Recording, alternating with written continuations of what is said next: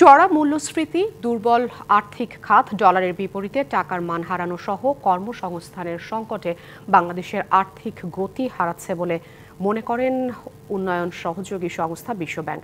সংস্থাটি বলছে, চলতি অর্থ বছরে বাংলাদেশের মোট দেশজ উৎপাদন বা জিডিপির প্রবৃদ্ধি হবে চার শতাংশ হারে, যা অতীতের যে কোনো সময়ের চেয়ে কম।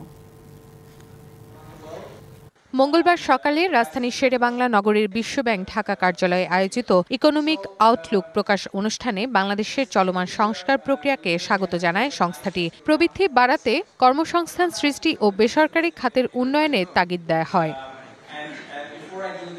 জুলাই আন্দোলনের ধারাবাহিকতায় চলতি অর্থ বছরের প্রথম তিন মাসে দারুণভাবে বাধাগ্রস্ত হয়েছে বাংলাদেশের অর্থনীতি। শেখ হাসিনা সরকারের পতনের পর অস্থিতিশীল ছিল শিল্প কারখানা প্রকট হয়েছে, ব্যাংক ও আর্থিক খাতের দুর্বলতা। আর এসব কিছুর প্রভাবে পিছিয়ে পড়েছে বাংলাদেশের অর্থনীতি। বিশ্বব্যাংকের প্রক্ষেপণ দুই হাজার চব্বিশের পাঁচ দশমিক দুই শতাংশের তুলনায় চলতি দু হাজার পঁচিশ সালে জিডিপি প্রবৃদ্ধি কমে দাঁড়াবে চার শতাংশে।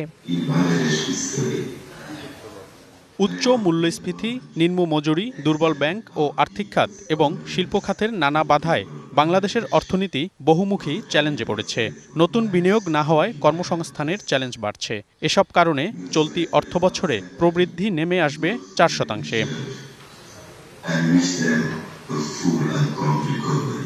তবে অন্তর্বর্তী সরকারের সংস্কার উদ্যোগকে ইতিবাচকভাবেই দেখছে বিশ্বব্যাংক।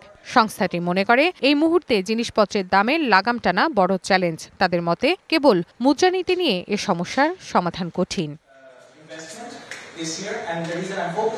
খাদ্যের দাম পঁয়তাল্লিশ শতাংশ বেড়েছে সরবরাহ সংকটের কারণে। রাশিয়া ইউক্রেন যুদ্ধ, আন্তর্জাতিক বাজারে জ্বালানি দাম বৃদ্ধির ছাড়াও বৈরী আবহাওয়ায় উৎপাদন কমে যাওয়ায় সরবরাহ ঘাটতি দেখা দিয়েছে।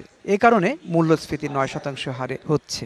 তবে আমাদের পূর্বাভাস বছর শেষে তা সাত শতাংশে নেমে আসবে। আবারও উচ্চ প্রবৃদ্ধি অর্জনে রাজস্ব আহরণ বাড়ানো সহ বেসরকারি খাতকে চাঙ্গা করে কর্মসংস্থান সৃষ্টির তাগিদ দিচ্ছে বিশ্বব্যাংক। সংস্থাটির মতে বিনিয়োগের ক্ষেত্রে অনুমোদন পাওয়ার জটিলতা ও জ্বালানি সংকট দূর করতে হবে।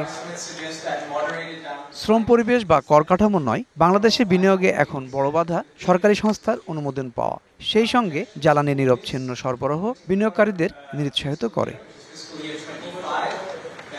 অর্থনীতিকে আবারও চাঙ্গা করতে নির্মোহ সংস্কারের পাশাপাশি মানসম্মত কর্মসংস্থান সৃষ্টি ও রাজনৈতিক স্থিতিশীলতাও নিশ্চিত করার তাগিদ দিয়েছে বিশ্বব্যাংক। রিফাত নিউজ, ঢাকা।